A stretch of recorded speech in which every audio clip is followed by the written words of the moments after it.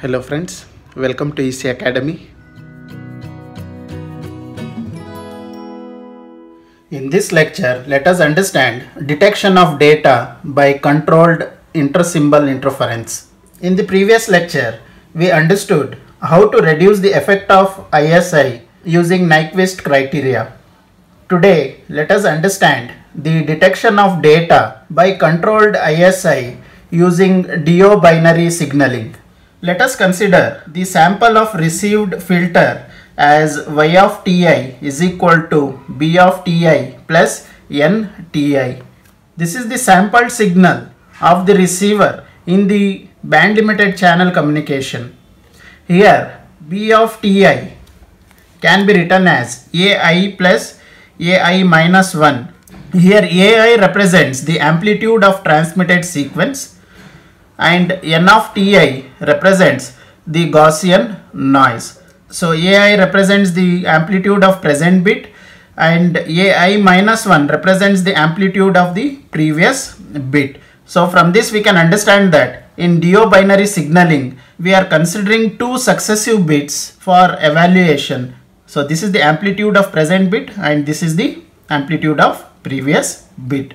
So if we neglect this Gaussian noise at that case ai can have the value plus 1 or minus 1 so we will give the value as plus 1 if symbol 1 is transmitted and the value of ai will be minus 1 if symbol 0 is transmitted. So ai can take two values either it can have plus 1 or minus 1 since we are taking two successive bits we can have four combinations as 0 0 0 1 1 0 and 1 1 so it is the addition of two successive bits. So it can be addition of 0 0 or it can be addition of 0 1 it can be addition of 1 0 or it can be addition of 1 1 so 0 is represented as minus 1 1 is represented as plus 1 so from this we can write it is minus 1 minus 1 so it will be minus 2 and 0 plus 1 it is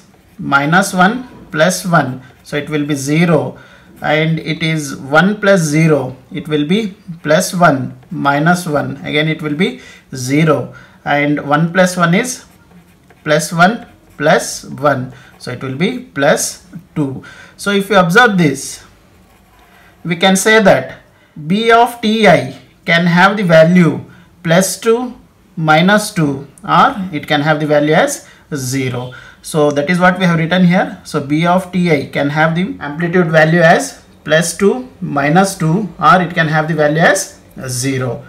So by neglecting the Gaussian noise, we can write the above equation as y of Ti is equal to ai plus ai minus 1.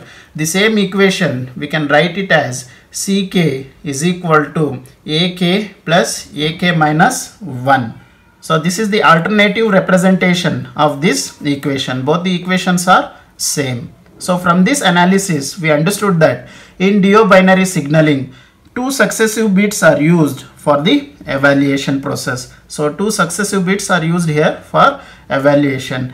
This process is also known as symbol by symbol detection of data or duobinary encoding or it is also known as correlative coding. The process allows the signaling rate at 2B0 in a channel of bandwidth B0. So if the bandwidth of channel is B0, so the signaling rate will be 2B0. So this will help in allowing the intersymbol interference in a controlled manner. So whatever intersymbol interference is transmitted at the transmitter end that will be eliminated at the receiver end. Now let us understand duobinary encoding or which is commonly known as DB encoding. First we will understand what is duo. The word duo means double the transmission capacity of binary system. Now let us consider the input sequence as BK. So since uh, we are taking the binary sequence, the input sequence will be having the value 1 or 0. For this sequence, if we perform NRZ encoding, we will get another signal which is AK. So AK will be plus 1 if the input sequence is 1 and AK will be minus 1 if the input sequence is 0. this encoder accept the sequence AK and convert it into three level signal that is plus 2, minus 2 or 0. So this we understood here. So the NRZ sequence will be converted into three level signal which is plus 2, minus 2 or 0. The output of the encoder can be expressed as CK. CK is equal to AK plus AK minus 1. To reconstruct the transmitted signal, let us consider AK cap as estimation of AK. So we can represent AK cap is equal to CK minus AK minus 1 cap. So here this equation is obtained from this equation. So to reconstruct AK we have represented that as AK cap. So AK cap is equal to CK minus AK minus 1 cap. So from this equation we have written this equation. This equation shows that if CK is received with some error then AK cap will have the error. This error will propagate at the output sequence. This is one of the disadvantage or one of the drawback of duobinary signaling. To understand this process, let us consider an example where we will take BK as the input sequence. So we have taken the sequence as 0, 0, 1, 1, 0, 1, 0, 0.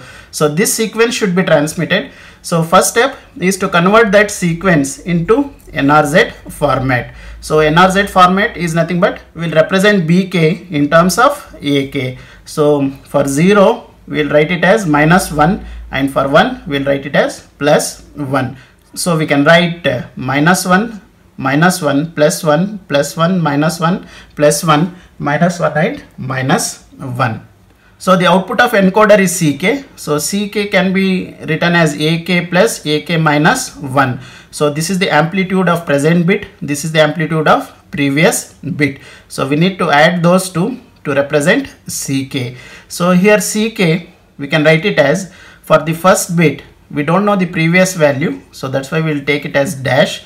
For the second bit this is the present bit AK. This is AK minus 1 so minus 1 less of minus 1. So if you substitute here minus 1 plus of minus 1 it will be minus 2. So we have written minus 2 here. So in the same way plus 1 minus 1 it will be 0 plus 1 plus 1 it is plus 2 minus 1 plus 1 it is 0 plus 1 minus 1 it is 0 minus 1 plus 1 it is 0 minus 1 minus 2 it is minus 2. So we can say AK is represented in the form of 3 level signal which is CK which will be having the value minus 2 plus 2 and 0.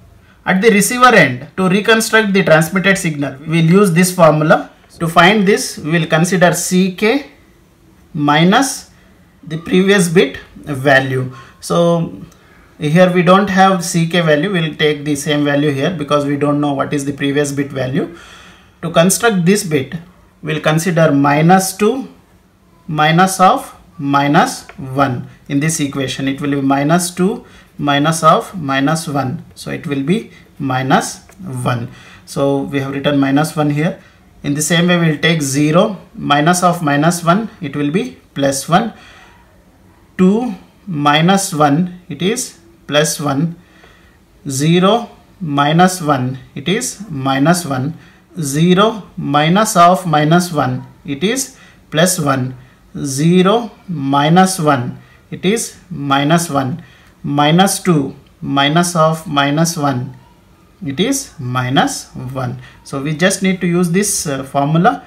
We know minus 1 represents 0 and plus 1 represents 1 so, so using this analysis will represent minus 1 as 0 plus 1 as 1 so we'll get the sequence 0 0 1 1 0 1 0 0 so this is the transmitted signal which is reconstructed at the receiver.